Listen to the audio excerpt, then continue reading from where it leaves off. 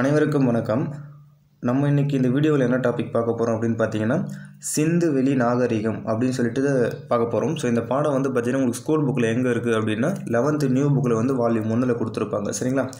So இன்னொரு விஷயம் ஒன்று ஸோ நம் டிஎன்பிஎஸ்சியில் வந்து அடுத்து வரப்போகிற அந்த குரூப் டூ எக்ஸாமுக்காக ஃப்ரீ கிளாஸ் வந்து கண்டக்ட் பண்ணிகிட்டு இருக்கோம். ஸோ அதில் ஜாயின் பண்ணணும்னு விருப்பம் இருக்கிறவங்க கீழே டிஸ்கிரிப்ஷனில் வந்து லிங்க் கொடுத்துருங்க. அதில் ஜாயின் பண்ணிக்கோங்க. சரிங்களா? ஸோ இப்போ நம்ம லெசனுக்குள்ளே போகலாம் ஸோ இந்த இந்த வீடியோ பொறுத்த வரைக்கும் நம்ம என்ன பார்க்க போகிறோம் அப்படின்னு பார்த்தீங்கன்னா ஸோ இந்த சிந்து நாகரிகம் அப்படிங்கிற இந்த பாடத்தில் ஸோ என்னென்னலாம் முக்கியமான பாயிண்ட்ஸ் வந்து கொடுத்துருக்காங்க? ஸோ அதை பற்றி தான் வந்து நம்ம இந்த வீடியோவில் வந்து டிஸ்கஸ் பண்ண போகிறோம் சரிங்களா? ஃபஸ்ட்டு பாருங்கள் இந்தியாவில் முதற்கட்ட நகரமயமாக்கத்தின் சின்னம் எது அப்படின்னு பார்த்தீங்கன்னா சிந்து நாகரிகம் அப்படின்னு சொல்லிட்டு சொல்கிறாங்க சரிங்களா?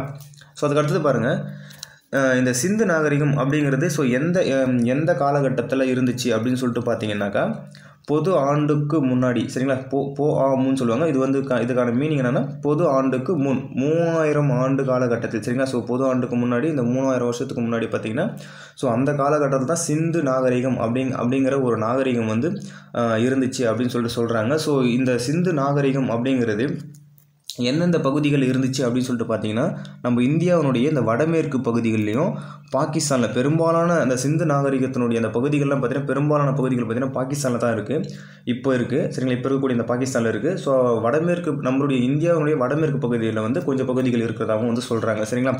ஸோ நிறைய பகுதிகள் இருக்குது அதை மொத்தமாக என்னென்னு சொல்லுவாங்கன்னு பார்த்தீங்கன்னா சிந்து நாகரிகம் வந்து ஒரு பகுதி மட்டும் கிடையாது. ஸோ சிந்து நாகரிகம்ன்றது நிறைய பகுதியை சேர்ந்ததான் வந்து சிந்து நாகரிகம். ஸோ அந்த மூவாயிரம் அந்த ஆண்டுகள் அந்த பொது ஆண்டுக்கு முன்னாடி மூணாயிரம் கால அந்த ஆண்டு காலகட்டத்தில் வாழ்ந்த நிறைய பகுதி வந்து அந்த இடத்துல இருக்குது அது மொத்தமாக தான் வந்து சிந்து நாகரிகம் அப்படின்னு சொல்லுவாங்க.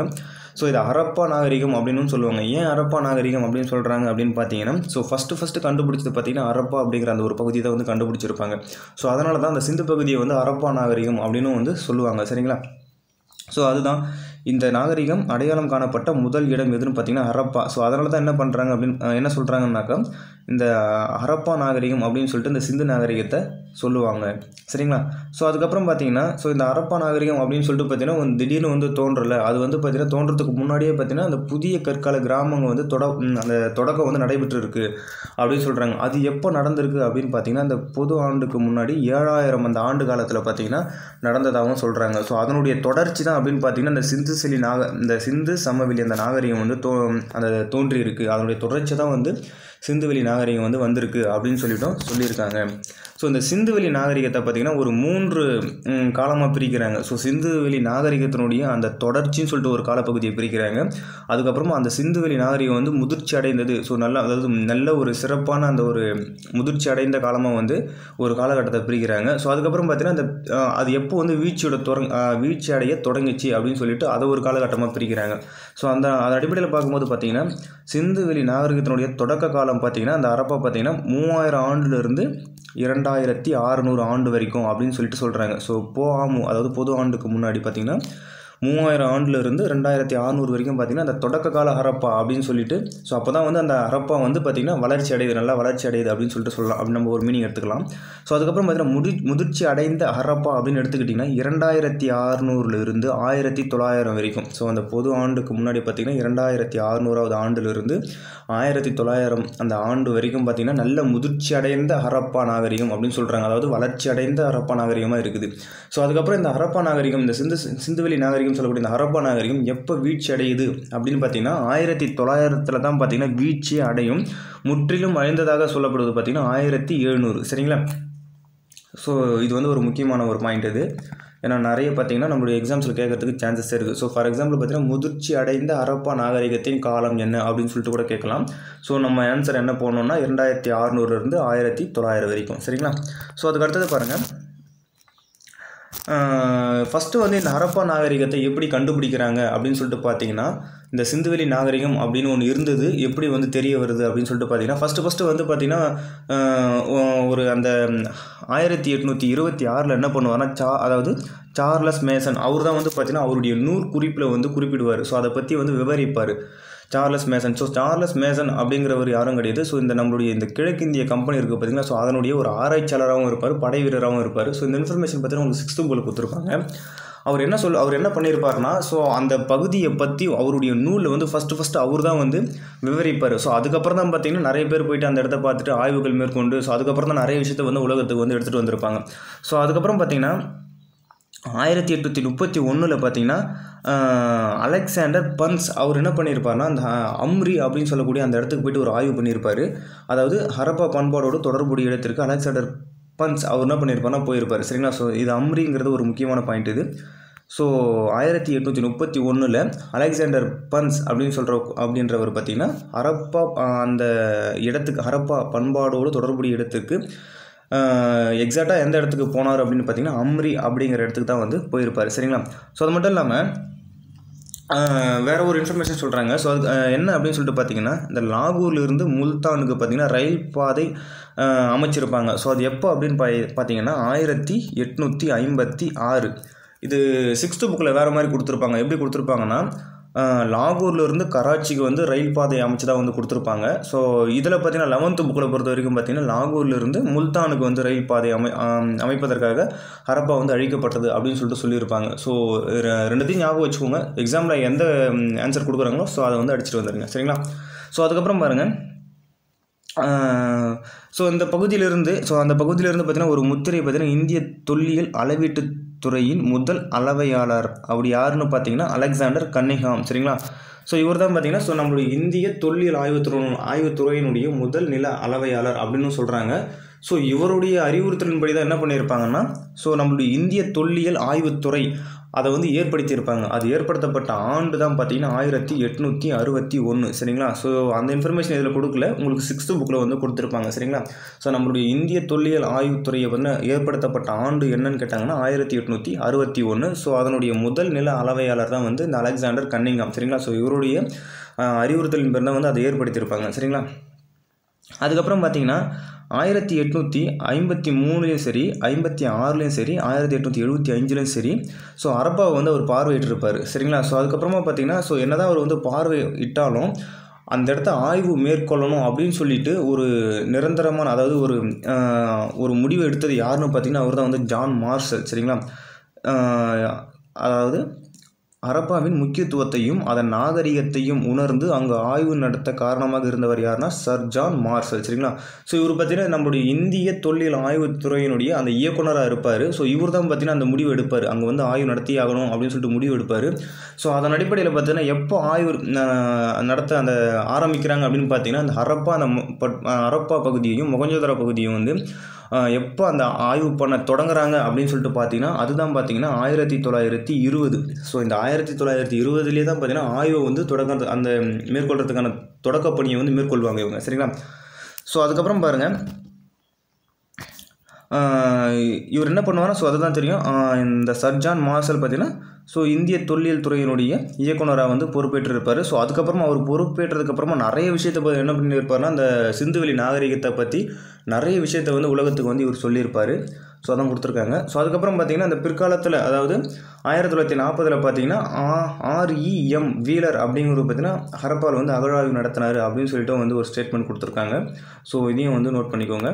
ஆயிரத்தி தொள்ளாயிரத்தி நாற்பதில் பார்த்தீங்கன்னா ஆர்இஎம் வீலர். சரிங்களா? ஸோ இவர் தான் என்ன தான் வந்து நிறைய ஆராய்ச்சியாளர் வந்து ஆய்வு மேற்கொண்டாலும் ஆனால் முதல் முதல்ல அந்த ஹரப்பா அப்படிங்கிற அந்த இடிபாடுகளை பற்றியும் அந்த நகரம் இருந்ததா அந்த அப்படின்னு ஒரு நகரம் இருந்தது அப்படிங்கிற ஒரு செய்தியை வந்து ஃபஸ்ட்டு ஃபஸ்ட்டு சொன்னது யாருன்னா சார்லஸ் மேசன். சரிங்களா? ஸோ அவர் தான் சொன்ன சொல்லியிருப்பார். ஸோ அவர் சொன்னதுக்கப்புறம் தான் நிறைய பேர் என்ன பண்ணியிருப்பாங்க அந்த இடத்த போயிட்டு ஆய்வு மேற்கொண்டு மேற் அதாவது மேற்கொண்டு இருப்பாங்க சரிங்களா? ஸோ அதை வந்து அதை மட்டும் ஞாபகத்தில் வச்சுக்கோங்க.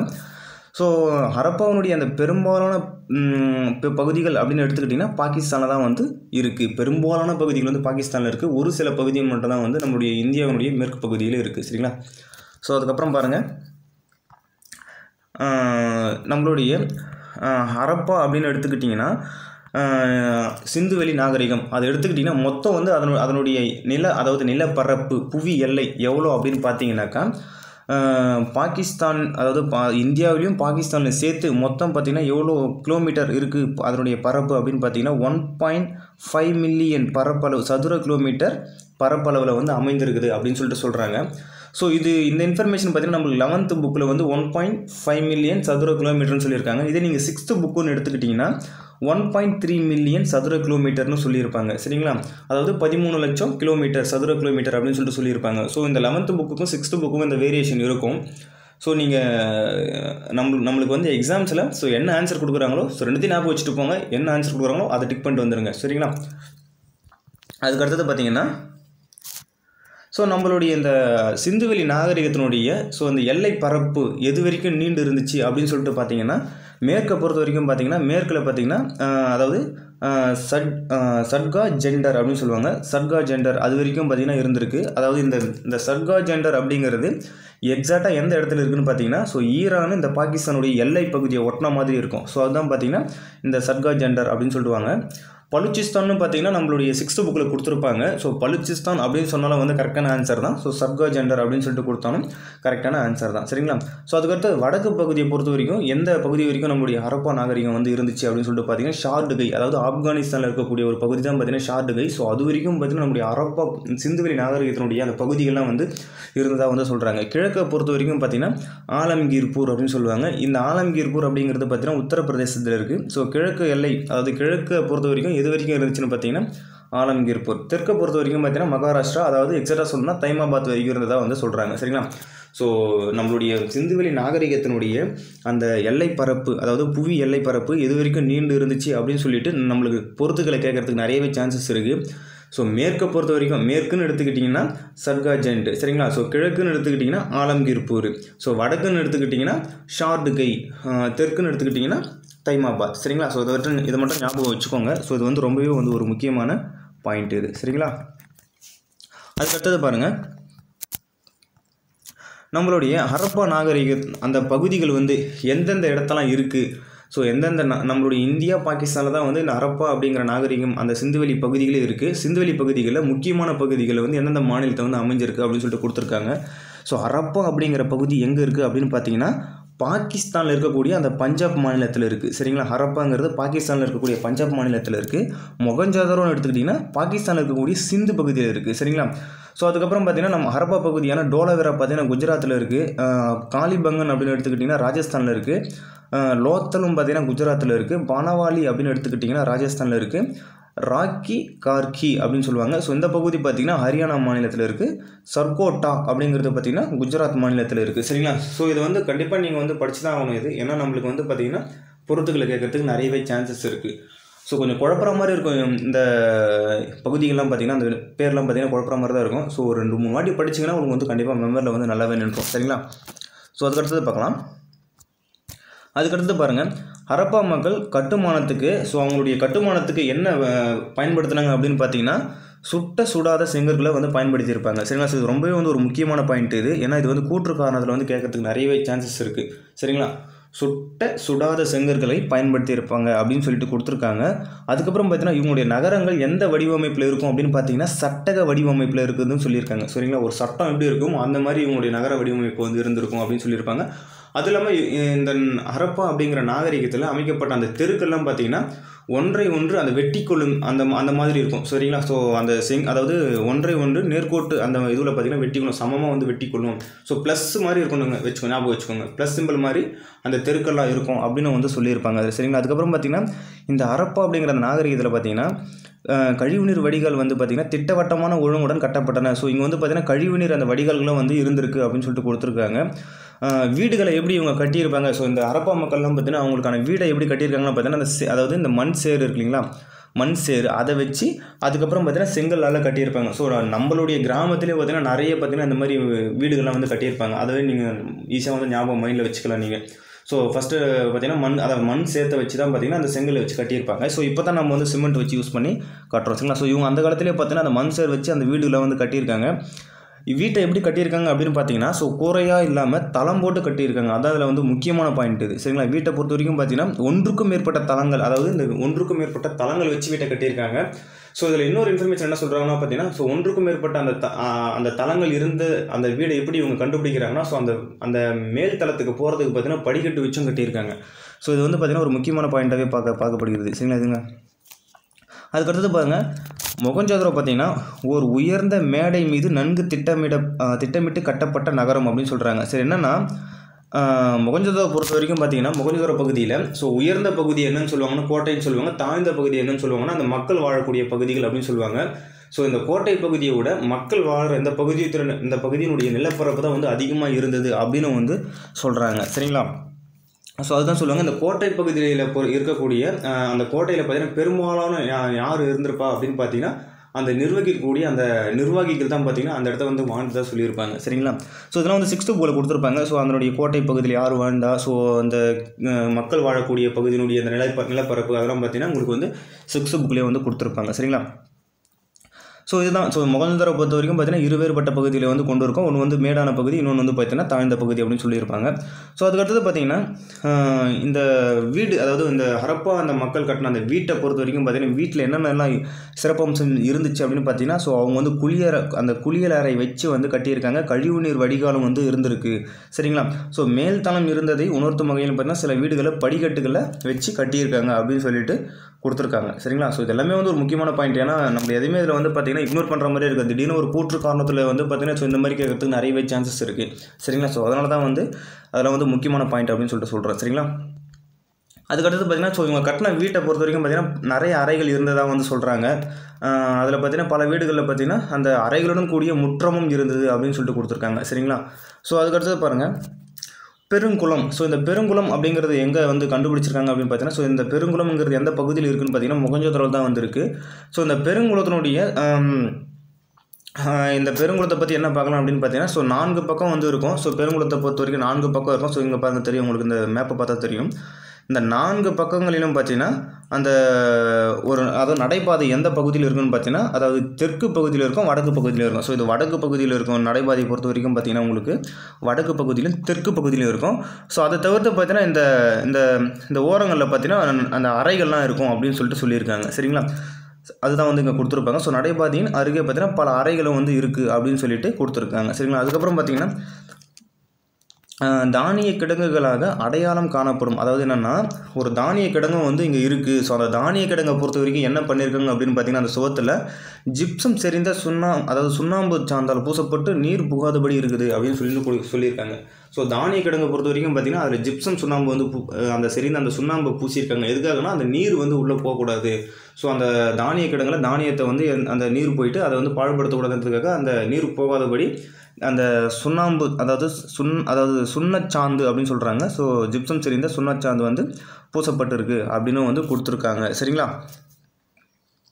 அதுக்கடுத்தது பார்த்தீங்கன்னா இவங்களுடைய வாழ்வாதாரம் பொருளாதார உற்பத்தி. ஸோ அதை பற்றி கொடுத்துருக்காங்க. என்ன அப்படின்னு பார்த்தீங்கன்னா ஹரப்பா மக்கள் அவங்கள பொறுத்த வரைக்கும் பார்த்தீங்கன்னா நிலையாக வாழ்வது வாழ்வதற்கு பார்த்தீங்கன்னா வேளாண்மை தான் வந்து முக்கிய ஆதாரமாக வந்து விளங்கியிருக்கு அப்படின்னு சொல்கிறாங்க ஆனால் இவங்களுடைய முதன்மை பயிர் வேளாண்மை தான் வந்து எந்த இடத்துலையும் வந்து இவங்களால வந்து நிரூபிக்கப்பட முடியல. ஏன்னா அதுக்கான ஆதாரமும் கிடைக்கல. ஸோ ஏன் அப்படின்னு பார்த்தீங்கன்னா இவங்க வந்து நிறைய வந்து தொழில் வந்து மேற்கொண்டிருப்பாங்க. கா கால்நடை வளர்க்குறதா இருக்கட்டும் ஸோ கைவினைப் பொருட்கள் தயாரிக்கிறதா இருக்கட்டும் ஸோ வணிகம் பண்ணுறதா இருக்கட்டும் அதாவது இவங்க பார்த்தீங்கன்னா மேக்ஸிமம் பார்த்தீங்கன்னா நிறைய பார்த்தீங்கன்னா மொசபட்டோமியா கூட அந்த நாகரிகத்தோட வந்து நான் நிறைய வந்து வணிகம் பண்ணியிருப்பாங்க. சரிங்களா?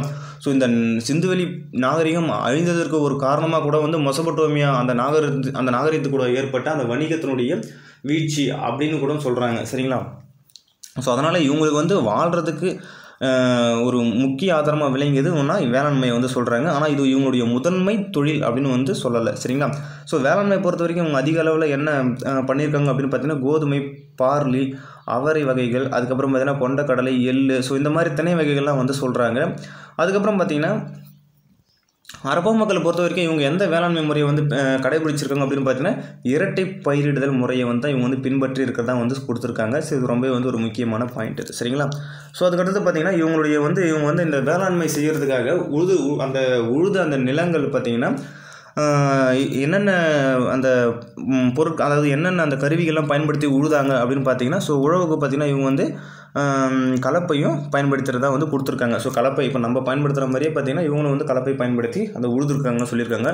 ஸோ இதில் வந்து முக்கியமான என்ன விஷயம்னா ஸோ இவங்க இந்த ஹரப்பா மக்கள் உழுத அதுவும் அந்த காலகட்டத்தில் ஒரு மூவாயிரம் வருஷத்துக்கு முன்னாடி அந்த உழுத அந்த சிந்து செலி சிந்து சமவெளி அந்த பகுதிகளில் உழப்பட்ட நிலப்பகுதி பார்த்தீங்கன்னா இப்போ வந்து கண்டுபிடிச்சிருக்காங்க. அது எங்கே கண்டுபிடிச்சிருக்காங்கன்னு அப்படின்னு பார்த்தீங்கன்னா அந்த உழுத நிலங்களை காலிபங்கனில் காண முடிகிறது அப்படின்னு சொல்லிட்டு கொடுத்துருக்காங்க.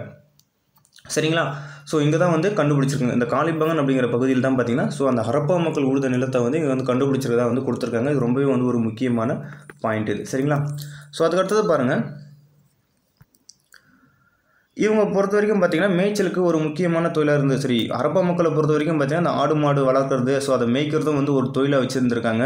ஸோ ஆடு மாடு வளர்க்குறதை பொறுத்த வரைக்கும் பார்த்தீங்கன்னா இவங்க பார்த்தீங்கன்னா செம்மறி ஆடு வெள்ளை ஆடு இந்த கோழி உள்ளிட்ட பறவைலாம் வந்து வளர்த்துருக்காங்க. அதுக்கப்புறம் பார்த்தீங்கன்னா எருமை பன்றி யானை ஸோ இந்த விலங்குகளை பற்றி இவங்களுக்கான அறிவு வந்து இருந்திருக்கு. ஸோ இந்த விலங்குகளை பற்றி இவங்க தெரிஞ்சு வச்சுருக்காங்க. ஆனால் இவங்களுக்கு தெரியாத ஒரு விலங்கு எது அப்படின்னு பார்த்தீங்கன்னா அதுதான் குதிரை. ஸோ இவங்களுடைய காலகட்டத்தில் பொறுத்த வரைக்கும் பார்த்தீங்கன்னா குதிரை அப்படிங்கிற ஒரு அந்த விலங்கு பார்த்தீங்கன்னா இவங்களுடைய பயன்பாட்டிலேயே கிடையாது. ஸோ அதற்கான எந்த ஆதாரமும் வந்து நம்மளுக்கு இது வரைக்கும் கிடைக்கல. அதுதான் வந்து இங்கே கொடுத்துருக்காங்க. இது ரொம்பவே வந்து ஒரு முக்கியமான பாயிண்ட் சரிங்களா? ஸோ சிந்துவெளி நாகரிகத்தினுடைய அந்த காலகட்டத்தில் பயன் அதாவது குதிரை அப்படிங்கிற ஒரு விலங்கே பார்த்தீங்கன்னா அந்த மக்களுக்கு வந்து தெரியாமல் இருந்திருக்கு. சரிங்களா? ஸோ அதுக்கப்புறம் பார்த்தீங்கன்னா ஸோ இந்த ஹரப்பாவில் இருந்த அந்த மாடுகள் என்ன சொல்கிறாங்க அப்படின்னு பார்த்தீங்கன்னா செபு அப்படின்னு சொல்லிட்டு சொல்கிறாங்க இது ரொம்பவே வந்து ஒரு முக்கியமான பாயிண்ட் இது சரிங்களா? செபு அப்படின்னு சொல்லிட்டு சொல்லுவாங்க. ஹரப்பா?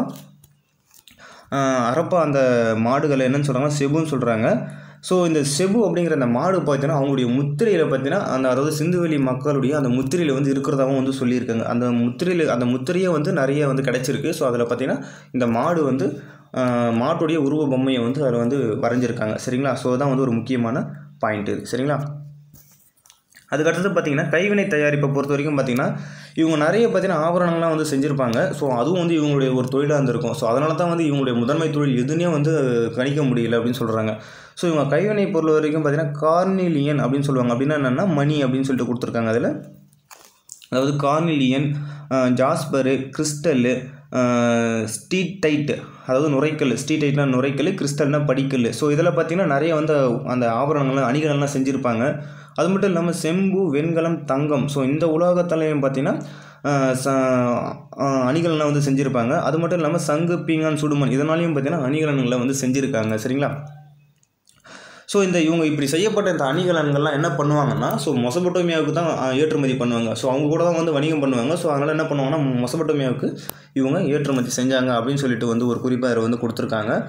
இந்த ஹரப்பா நாகரிக மக்கள் சரிங்களா? ஸோ இந்த ஹரப்பாவில் இருந்த இந்த பகு இந்த பகுதியில் வாழ்ந்த மக்கள்லாம் பார்த்திங்கன்னா ஸோ அவங்களுடைய அந்த ஒரு ஒரு பகுதியிலும் பார்த்தீங்கன்னா ஒரு ஒரு பொருள் தயாரிப்பாங்க. அந்த அணிகலங்களாக இருக்கட்டும் ஸோ இல்லை அவங்களுடைய கைவினை பொருட்களாக இருக்கட்டும் ஸோ அதெல்லாம் வந்து எந்தெந்த பகுதியில் என்னென்ன பொருட்களை வந்து தயாரித்தாங்க அப்படின்னு சொல்லிட்டு கீழே வந்து ஒரு டேபிள் அதாவது ஒரு அட்டவணையில் வந்து கொடுத்துருக்காங்க. ஸோ இது பார்த்திங்கன்னா இது ரொம்பவே வந்து ஒரு முக்கியமான ஒரு பாயிண்ட் தான் இது. ஸோ ஏன்னா இது பொறுத்துக்களை கொடுத்து அப்படியே நம்மளுக்கு டைரெக்டாக பொறுத்துக்களை கொடுத்து கேட்குறது கூட நம்மளுக்கு நிறையவே சான்சஸ் இருக்குது சரிங்களா? சங்கு அப்படின்னு எடுத்துக்கிட்டிங்கன்னா நாகேஸ்வர் அதாவது பாலக்கோட்டுன்னு சொல்கிறாங்க ஸோ நாகேஸ்வர் பாலக்கோடு இந்த இடத்துல வந்து தயாரி அதாவது இந்த பகுதியில் வந்து வாழ்ந்த மக்கள்லாம் பார்த்திங்கன்னா த சங்குங்கிறத அங்கே தான் வந்து பண்ணியிருக்காங்க. வைடூரியம் அப்படின்னு பார்த்தீங்கன்னா ஷார்டுகை. ஸோ ஆப்கானிஸ்தானுடைய ஒரு பகுதி தான் பார்த்தீங்கன்னா ஷார்டுகை. ஸோ அங்கே வந்து வைடூரியத்தை பற்றி பயன்படுத்தி அந்த செஞ்சுருக்காங்க. அதில் வந்து ஆபரணம் செஞ்சுருக்காங்க. கார்னிலியன். ஸோ இதில் ஆபரணம் செஞ்ச இடம் எதுன்னு பார்த்தீங்கன்னா லோத்தல். ஸோ லோத்தலுங்கிறது பார்த்திங்கன்னா குஜராத்தில் இருக்கும். ஸோ அங்கே வந்து செ செஞ்சுருக்காங்க. அதுக்கப்புறம் பார்த்தீங்கன்னா ஸ்டீட் டைட் அதாவது நுரைக்கல் அப்படிங்கிறது பார்த்தீங்கன்னா ராஜஸ்தான். அந்த பகுதியில் வந்து அந்த பகுதியில் வாழ்ந்த அந்த அரப்பா மக்கள் வந்து ஸோ இதில் வந்து ஆபரணம் செஞ்சுருக்காங்க. செம்பில் வந்து அணிகலன் செஞ்சது பார்த்தீங்கன்னா ராஜஸ்தானில் பார்த்தீங்கன்னா செஞ்சுருக்காங்க. அது மட்டும் இல்லாமல் ஓமன்லேயும் வந்து பண்ணியிருக்கதா வந்து கொடுத்துருக்காங்க. சரிங்களா? ஸோ இந்த பகுதியில் இருக்கக்கூடிய மக்கள்லாம் பார்த்தீங்கன்னா ஸோ இந்த வகையான அந்த உலோகத்தில் வந்து அணிகலன்களை வந்து செஞ்சுருக்காங்க. சரிங்களா? ஸோ இது வந்து ரொம்பவே வந்து ஒரு முக்கியமான பாயிண்ட் இது. ஏன்னா நம்மளுக்கு பொறுத்துக்களை கேட்கறதுக்கு நிறையவே சான்சஸ் இருக்குது சரிங்களா? அதுக்கடுத்தது பார்த்திங்கன்னா இவங்களுடைய மண்பாண்டங்களை பொறுத்த வரைக்கும் பார்த்தீங்கன்னா அரப்பா ஹரப்பா மக்கள் பார்த்தீங்கன்னா மண்பாண்டங்களையும் பயன்படுத்தியிருக்காங்க. ஸோ அதனாலே இவங்களுக்கு பார்த்தீங்கன்னா அந்த சக்கரத்தினுடைய அந்த பயன் தெரிஞ்சிருக்கும் இவங்களுக்கு. ஸோ சக்கரத்தை பயன்படுத்தி என்ன பண்ணியிருப்பாங்கன்னா மண்பாண்டங்களை செஞ்சுருப்பாங்க. ஸோ ஹரப்பா மக்களுக்கு பார்த்தீங்கன்னா சக்கரத்தினுடைய அந்த பயன்பாடு வந்து அவங்களுக்கு வந்து தெரிஞ்சிருக்கும். ஸோ இவங்க செய்யப்பட்ட அந்த மண்பாண்டத்தில் என்ன வகையான அந்த கலைகள்லாம் பண்ணியிருப்பாங்க அப்படின்னு பார்த்தீங்கன்னா சிகப்பு மற்றும் கருப்பு கலந்த அந்த வண்ணம் பூசியிருப்பாங்க அப்படின்னு சொல்கிறாங்க ஸோ சிகப்பில் பார்த்தீங்கன்னா அந்த மண்பாண்டம் இருக்கும். அந்த மண்பாண்டம் வந்து சிகப்பாக இருக்கும். அதுக்கு மேலே என்ன பண்ணுவாங்கன்னா அந்த கருப்பு வண்ணத்தில் என்ன பண்ணுவாங்கன்னா ஓவியங்கள்லாம் தீட்டி இருப்பாங்க. ஸோ அதுதான் என்னென்ன ஓவியங்களை தீட்டியிருப்பாங்க அப்படின்னு சொல்லிட்டு பார்த்தீங்கன்னா அந்த கருப்பு கலர் அந்த கருப்பு கலரில்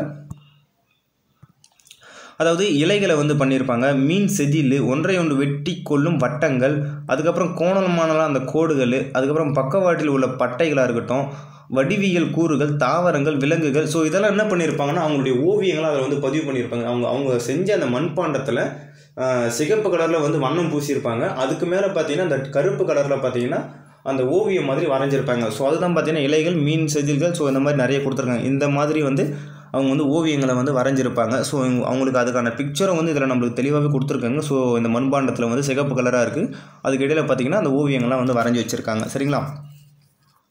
அதுக்கடுத்தது பாருங்கள் நம்மளுடைய இந்த ஹரப்பா மக்கள் பார்த்திங்கன்னா ஹரப்பா நாகரிகம் பார்த்திங்கன்னா எந்த அதாவது அவங்களுடைய எந்த உலோகத்தை பயன்படுத்தினாங்க அப்படின்னு பார்த்தீங்கன்னாக்கா ஹரப்பா நாகரிகம் வெண்கல கால நாகரிகம் அப்படின்னு சொல்கிறாங்க பெரும்பாலும் பார்த்தீங்கன்னா வெண்கலத்தை தான் இவங்க வந்து பயன்படுத்தியிருப்பாங்க. அதனால தான் வந்து ஹரப்பா நாகரிக அந்த சிந்துவெளி மக்களுடைய உலோகம் பெரும்பாலும் பார்த்தீங்கன்னா வெண்கலம். அதனால தான் பார்த்தீங்கன்னா அரப்பா நாகரிகம் பார்த்தீங்கன்னா வெண்கல காலத்தை சேர்ந்தது அப்படின்னு நீங்கள் வந்து தெளிவாக கொடுத்துருக்காங்க.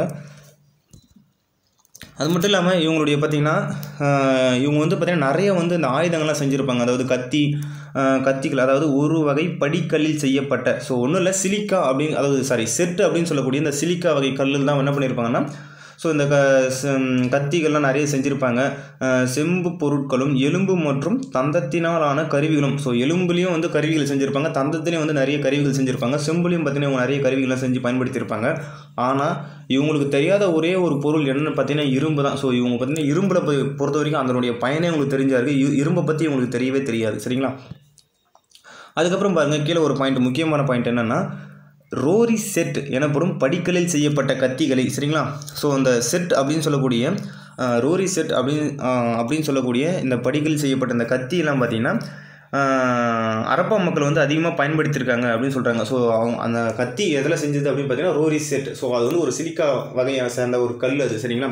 ஸோ அதில் வந்து இவங்க வந்து கத்தி செஞ்சு பயன்படுத்தியிருப்பாங்க. அம்பு ஈட்டி கோடாரி மழுங்கல் முனை கோடாரி ஆகியவையெல்லாம் பார்த்தீங்கன்னா ஸோ இவங்களுடைய ஆயுதமாக இருந்திருக்கு அப்படின்னு சொல்கிறாங்க அரப்பா மக்களுக்கு வந்து இரும்பை பற்றி அறிந்திருக்கவில்லை. ஸோ இவங்க பயன்படுத்தப்படாத ஒரு உலோகம் எது அப்படின்னு பார்த்தீங்கன்னாக்கா இரும்பு.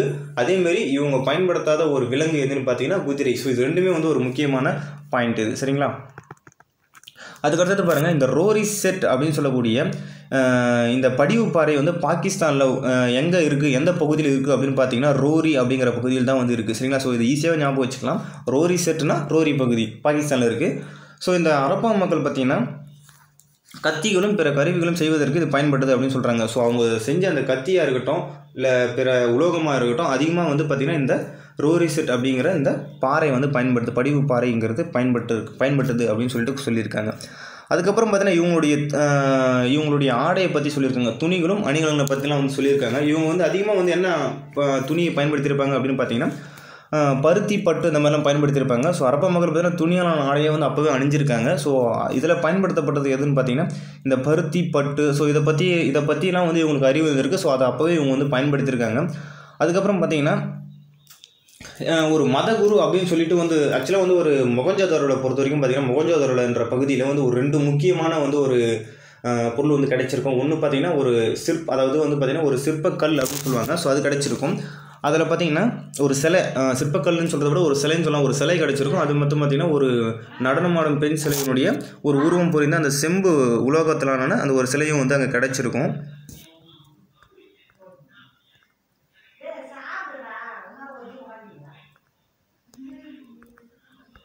ஒன் செகண்ட்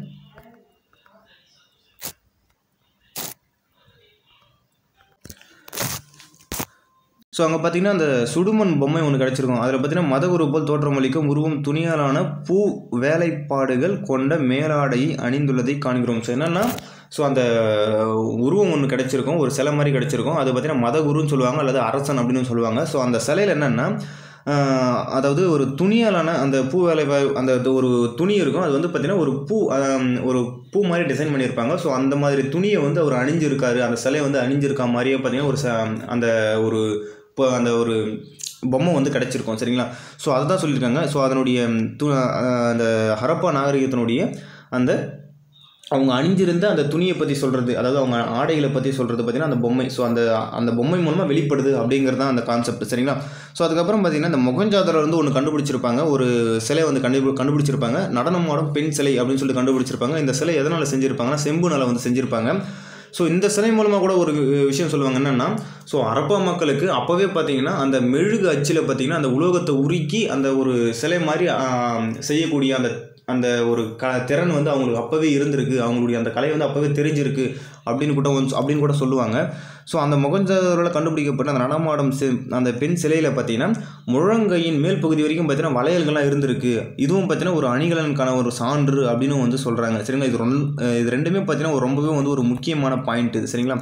ஸோ அதுக்கு அடுத்தது அதுக்கு அடுத்தது என்ன அப்படின்னு சொல்லிட்டு பார்த்தீங்கன்னா ஸோ இவங்களோட வணிக முறை அதாவது வணிக பரு பரிவர்த்தனை பற்றி நீங்கள் பார்த்தீங்கன்னா இவங்களோட வணிக முறை பார்த்தீங்கன்னா பெரும்பாலும் இவங்க வந்து பார்த்தீங்கன்னா எந்த யார் கூட இவங்க வந்து வணிக தொடர்பு வச்சிருப்பாங்க அப்படின்னு பார்த்தீங்கன்னா மொசபோட்டோமியா கூட தான் பார்த்தீங்கன்னா இவங்க வந்து வணிக தொடர்பு வச்சிருப்பாங்க. ஸோ இவங்களுடைய வணிக வீச்சுக்கு அப்புறமா கூட இவங்களுடைய நாகரிகம் வந்து அழிய தொடங்கியிருக்கலாம் அப்படின்னு வந்து ஒரு ஸ்டேட்மெண்ட் இருக்குது ஸோ வணிகம் அதாவது அரப மக்கள் வணிகத்தை யார் கூட வணிகம் பண்ணாங்க அப்படின்னு பார்த்தீங்கன்னா ஸோ மொசபோட்டோமியா தான். சரிங்களா? ஸோ இவங்க பார்த்தீங்கன்னா இந்த மொசபோட்டோமியாவில் பார்த்தீங்கன்னா அந்த அந்த மொசபட்டோமியா ஒருத்தம் மொசபட்டோமியை பொறுத்த வரைக்கும் பார்த்தீங்கன்னா அந்த சுமேரிய நாகரிகம் அப்படின்னு சொல்லுவாங்க. ஸோ அந்த இடத்த பார்த்தீங்கன்னா அந்த என்னென்ன பகுதிகள்லாம் வரும் அப்படின்னு சொல்லிட்டு பார்த்தீங்கன்னா இந்த சுமேரிய நாகரிகத்துக்கு உட்பட்ட பகுதிகள் அப்படின்னு பார்க்கும்போது இந்த Oman Bahrain Iran Iraq so இந்த மாதிரி பகுதிகள்லாம் பார்த்தீங்கன்னா இந்த அரப்பா வச்ச அந்த முத்திரைகள்லாம் பார்த்தீங்கன்னா அங்கே நிறைய கிடைச்சிருக்கு. சரிங்களா? ஸோ இந்த அரப்பா அந்த சிந்துவெளி ம அந்த மக்கள் வாழ்ந்த ஸோ அவங்களுடைய அந்த முத்திரைகள் பொறிந்த அந்த நாணயங்கள்லாம் பார்த்தீங்கன்னா அங்கே நிறைய கிடைச்சிருக்குன்னு சொல்கிறாங்க ஸோ அதுவே பார்த்தீங்கன்னா இவங்க ரெண்டு பேருக்கும் பார்த்தீங்கன்னா வணிகம் இருந்ததுக்கான அந்த சான்றாக கூட எடுத்துக்கிறாங்க அதை. ஸோ அதுதான் வந்து வணிக இந்த ஹரப்பாவுக்கும் முகஞ்சதாரோக்கும் இடையில் நடைபெற்ற வணிகத்திற்கான அந்த சான்று அது அப்படின்னு கூட சொல்கிறாங்க அது சரிங்களா? ஸோ அதுக்கப்புறம் பார்த்தீங்கன்னா ஸோ இந்த ஹரப்பா இந்த முகஞ்சதாரோ இந்த ரெண்டு பகுதிகளுக்கு இடையில் வந்து வணிகம் நடந்ததுக்கான சான்றாக இன்னொன்று எதை சொல்கிறாங்க அப்படின்னு பார்த்தீங்கன்னா கியூனிஃபார்ம் அப்படின்னு சொல்லக்கூடிய ஒரு கல்வெட்டு குறிப்பு இருக்குது அப்படின்னு சொல்லிட்டு சொல்கிறாங்க சரிங்களா? ஸோ இது ரொம்பவே வந்து ஒரு முக்கியமான பாயிண்ட் இது. சரிங்களா?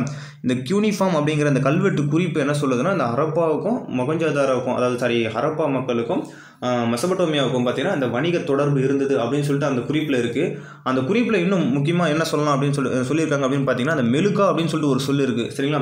ஸோ அந்த மெலுக்கா அப்படிங்கிற அந்த சொல் எந்த பகுதியை குறிக்குது அப்படின்னு சொல்கிறாங்கன்னு பார்த்தீங்கன்னா சிந்து அப்படிங்கிற அந்த பகுதியை வந்து குறிக்கிறதா வந்து சொல்கிறாங்க சரிங்களா? சிந்து அப்படிங்கிற அந்த பகுதியை வந்து குறிக்கிறதா வந்து சொல்லியிருக்காங்க. அது மட்டும் இல்லாமல் இந்த அரப்பா சேர்ந்த அந்த முத்திரைகள்லாம் பார்த்தீங்கன்னா அரப்பாவை சேர்ந்த அந்த முத்திரைகளாக இருக்கட்டும் அந்த எடை கற்களாக இருக்கட்டும் இந்த தாய அந்த தாயக்கட்டைகள்னு சொல்லுவாங்க. சரி அதெல்லாம் பார்த்தீங்கன்னா இந்த தாயக்கட்டைகள் மணிகள் இதெல்லாம் பார்த்தீங்கன்னா மொசபட்டோமியாவிலையும் வந்து கிடச்சிருக்கு அப்படின்னு சொல்லி- சொல்லிட்டு வந்து கொடுத்துருக்காங்க. ஸோ இதெல்லாமே பார்த்திங்கன்னா ஒரு ரொம்பவே வந்து ஒரு முக்கியமான பாயிண்ட்டு தான். சரிங்களா? அதுக்கப்புறம் பாருங்கள் இவங்களுடைய எடை அளவீடுகளை பற்றி கொடுத்துருக்காங்க.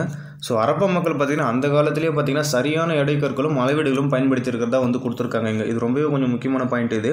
ஸோ இவங்களுடைய எடை அளவீடை பொறுத்த வரைக்கும் எப்படி இருக்கும் அப்படின்னு பார்த்தீங்கன்னா இரு மடங்குன்னு சொல்லுவாங்க. ஸோ இரு எண்ம அதாவது ஈரடுக்கு எண்முறையை வந்து இவங்க வந்து இவங்களுடைய இவங்களுடைய எடை எடை அளவி அளவீடு பார்த்திங்கன்னா ஈரடுக்கு எண்முறையை கொண்டதாக இருக்குது அப்படின்னு சொல்லிட்டு வந்து கொடுத்துருப்பாங்க. ஸோ இந்த எடை அளவீடு அது எப்படி வந்து இருக்கும் அப்படின்னு பார்த்தீங்கன்னா படிக்கல்ல செஞ்சுருப்பாங்க சரிங்களா? ஸோ படிக்கல்லில் கனசதுர வடிவத்தில் பார்த்தீங்கன்னா இருக்கும். அந்த இடைக்கற்களை பொறுத்த வரைக்கும் பார்த்தீங்கன்னா படிக்கல்லாலான கனசதுர வடிவத்தில் இருக்கும் சரிங்களா? ஸோ இந்த இடைக்கற்களை பொறுத்த வரைக்கும் பார்த்தீங்கன்னா இரும முறையை உணர்த்துகிறது சரிங்களா? இரும முறைனா ஒன்றும் கிடையாது. ஈரடுக்கு அடிமானம் அதாவது பார்த்தீங்கன்னா ஒன்று ரெண்டு நாலு எட்டு பதினாறு முப்பத்தி ரெண்டு பதினாறு அப்படின்னு சொல்லிட்டு அப்படியே ரெண்டு ரெண்டாக ஸோ அந்த டபுள் அதாவது ஈரடுக்கு அடிமான முறைன்னு சொல்லுவாங்க. ஸோ அப்படியே இரண்டால் பெருக்கிக்கிட்டே போவாங்க. அதே மாதிரி இவங்களுடைய எடை எடையினுடைய அந்த சிறிய அளவீடு அப்படின்னு எடுத்துக்கிட்டிங்கன்னா நம்மளுடைய இன்றைய அளவீட்டில் என்ன சொல்கிறாங்க அப்படின்னு பார்த்தீங்கன்னா பதிமூணு புள்ளி ஆறு மூணு கிராம் அப்படின்னு சொல்கிறாங்க சரிங்களா? ஸோ இவங்களுடைய அந்த ஹரப்பா மக்களுடைய இடையில சிறிய அளவீடு இப்போ இன்றைக்கு முறைக்கு என்ன இன் இன்றைய அதாவது இன்றைய அளவீட்டு முறையில் எவ்வளோ கிராம் அப்படின்னு பார்த்தீங்கன்னா பதிமூணு புள்ளி ஆறு மூணு கிராம் அப்படின்னு சொல்லிட்டு சொல்கிறாங்க ஸோ அரப்பா மக்கள் பார்த்திங்கன்னா இன்றைய அளவீட்டில் பதிமூணு புள்ளி ஆறு மூணு கிராம்னு சொல்கிறாங்க இன்ச்சு அப்படின்னு பார்த்தீங்கன்னா ஒன்று புள்ளி ஏழு சென்டிமீட்டர் ஏழு ஐந்து சென்டிமீட்டர் அப்படின்னு சொல்லிட்டு கொடுத்துருக்காங்க. சரிங்களா? ஸோ இன்றைக்கான அவங்களுடைய அளவீடு இன்றைக்கான ஒ- இன்னைக்கான அளவீட்டில் ஒப்பிடும்போது தேர்ட்டீன் பாயிண்ட் சிக்ஸ் த்ரீ கிராம்னும் ஒன் பாயிண்ட் செவன் ஃபைவ் சென்டிமீட்டர்னு வந்து கொடுத்துருக்காங்க. இது ரொம்பவே வந்து ஒரு முக்கியமான பாயிண்ட் இது. சரிங்களா? அதுக்கு அடுத்தது பார்த்தீங்கன்னா இவங்களுடைய ஹரப்பா மக்களுடைய எழுத்து முறையை பார்த்தீங்கன்னா இன்றைக்கி வரைக்கும் நம்மளால் வந்து விளங்கி கொள்ள முடியவில்லை. ஸோ புரிஞ்சிக்கவே முடியல. அவங்களுடைய எழுத்தை இன்றைக்கி வரைக்கும் யாராலையும் வந்து படிக்க முடியல அப்படின்னு சொல்கிறாங்க ஸோ அவங்களுடைய எழுத்து முறையை படித்தா மட்டும்தான் அந்த அவங்களுடைய அவங்க வாழ்ந்ததற்கான நிறைய ஆதாரம் வந்து இன்னும் தெரிஞ்சிக்க முடியும் அப்படின்னு வந்து நிறைய சொல்கிறாங்க ஸோ இதில் பார்த்தீங்கன்னா ஐநூறுக்கும் மேற்பட்ட எழுத்து தொடர்கள் வந்து ஆவணப்படுத்தப்பட்டுள்ளது அப்படின்னு சொல்கிறாங்க சரிங்களா? ஸோ இதில் முக்கியமான பாயிண்ட் என்ன பார்க்கலாம் அப்படின்னு சொல்லிட்டு பார்த்தீங்கன்னா இந்த ஹரப்பா மக்கள் சரிங்களா? ஸோ அந்த ஹரப்பாவில் கிடைச்சதில் மிக நீளமாக கருதப்படும் எழுத்து தொடர் எத்தனை குடியிரு குறியீடுகளை கொண்டுள்ளது அப்படின்னு பார்த்தீங்கன்னா இருபத்தி ஆறு குறியீடுகளை வந்து கொண்டுள்ளது. இது ரொம்பவே வந்து ஒரு முக்கியமான பாயிண்ட் இது.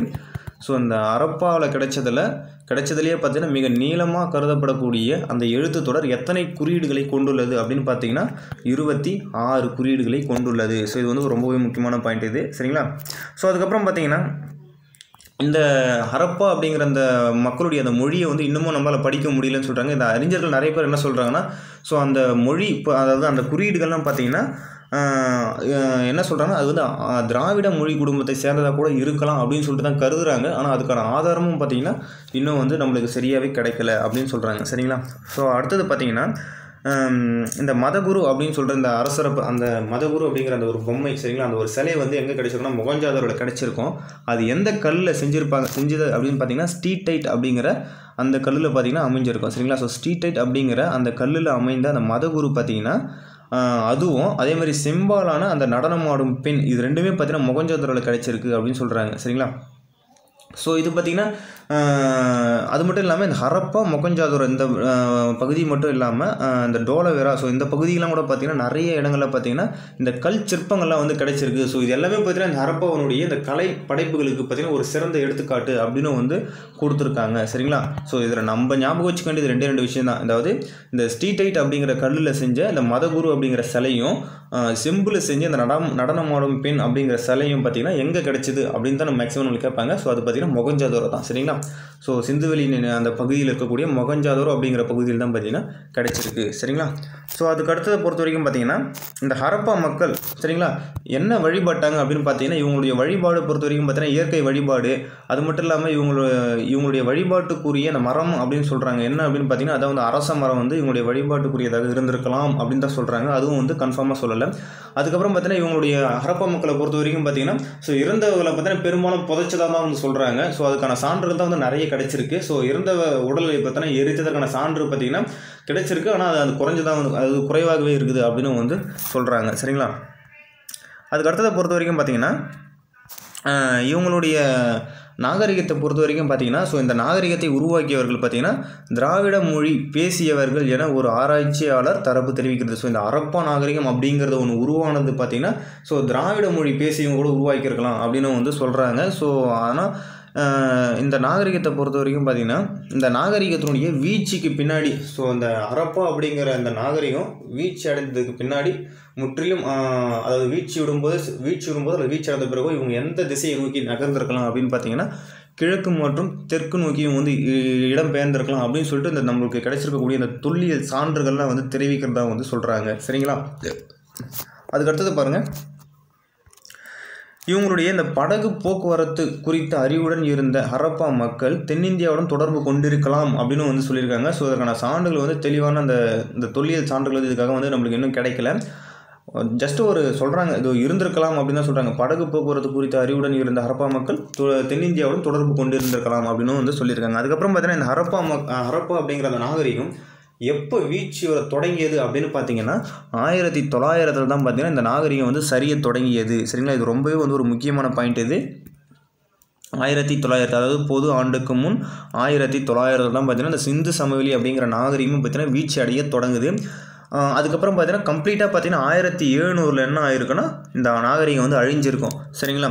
ஸோ இந்த நாகரிகம் வீழ்ச்சி அடைய காரணம் என்னவா இருக்கும் அப்படின்னு சொல்கிறாங்கன்னு பார்த்தீங்கன்னா காலநிலை மாற்றம்னு ஒன்று சொல்கிறாங்க இல்லை மொசபட்டோமியாவுடன் அந்த ஏற்பட்ட வணிகத்தில் ஏற்பட்ட அந்த வீழ்ச்சியாக இருக்கலாம் அப்படின்னு சொல்கிறாங்க தொடர் வறட்சியின் அந்த ஆ- ஆற்றில் பார்த்தீங்கன்னா தொடர் வறட்சி ஏற்று ஏற்பட்டிருக்கும்.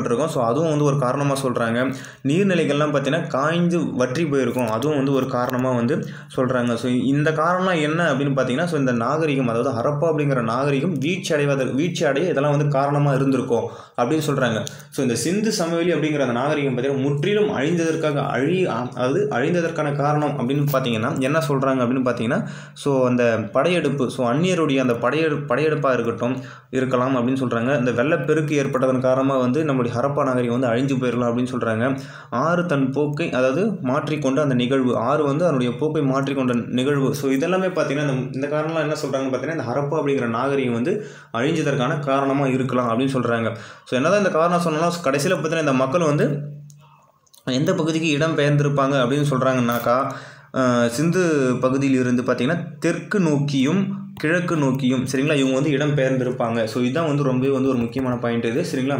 ஸோ இந்த ஹரப்பா அப்படிங்கிற அந்த நாகரிகம் அழிஞ்சதுக்கப்புறம் இந்த மக்கள் வந்து எந்த பகுதிக்கு இடம் பெயர்ந்திருப்பாங்க அப்படின்னு பார்த்தீங்கன்னா தெற்கு கிழக்கு. இதை மட்டும் ஞாபகம் வச்சுக்கோங்க.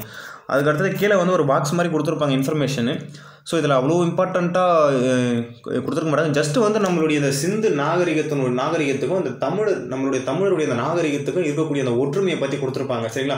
ஸோ இந்த சிந்து நாகரிகமே கூட இவங்க தெற்கு வந்து தமிழில் வந்து இவங்களுடைய வாழ்க்கையை வந்து தொடங்கியிருக்கலாம் அப்படின்னு சொல்லிட்டு தான் சொல்லியிருப்பாங்க. இங்கே பார்த்தீங்கன்னா ஃபஸ்ட்டு பாயிண்ட் வந்து இந்திய வரலாற்றில் நிகழ்ந்த முதல் நகரமயமாக்கத்தின் வெளிப்பாடு சிந்து நாகரிகம். ஸோ இதை நம்ம ஃபஸ்ட்லேயே பார்த்துட்டோம். ஸோ அதுதான் வந்து இங்கே மறுபடியும் கொடுத்துருக்காங்க. முக்கியமான பாயிண்ட் தான் இது.